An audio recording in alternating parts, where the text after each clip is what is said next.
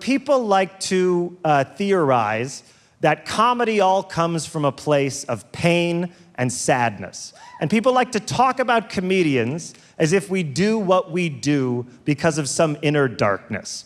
And this is especially thrown around when discussing Robin Williams.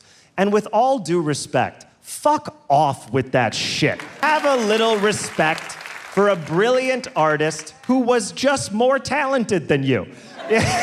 that's, that's what was happening. Making people laugh is incredibly fun. The art form of comedy is a joy to perform, and being a comedian is not a psychiatric condition. Are many of us also very fucked up, myself included? Yes, but whatever. You know, there are depressed people who don't even have the decency to be great comedians. Why don't you pick on them for a change?